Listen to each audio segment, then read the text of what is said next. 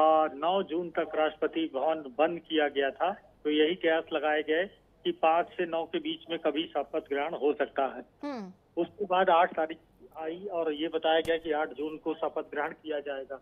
लेकिन अब जिस तरह से आपने कहा कि गठबंधन में शायद बातचीत चल रही है और जिस तरह से टीडीपी और जेडीयू जिस तरह से अपनी मंत्रालय मांगे हैं जिस तरह की खबरें आ रही हैं तो इसलिए ऐसा लगता है कि शायद अभी सहयोगी दलों के साथ जो बातचीत है वो बीजेपी की पूरी नहीं हुई है और यही वजह है कि अब आठ से नौ किया गया है।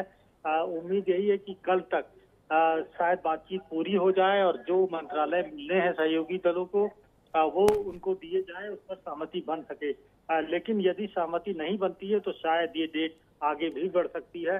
और इसी के चलते चूँकि नौ को पहले आंध्र प्रदेश में भी शपथ ग्रहण की तारीख हम्म। बताई गई थी और इसीलिए अब उसको बारह तारीख कर दिया गया है और अब चंद्रबाबू नायडू मुख्यमंत्री के तौर पर बारह तारीख को शपथ लेंगे और अभी तक की जो जानकारी है वो कि रविवार यानी 9 जून को प्रधानमंत्री नरेंद्र मोदी देश के अगले प्रधानमंत्री के रूप में शपथ लेंगे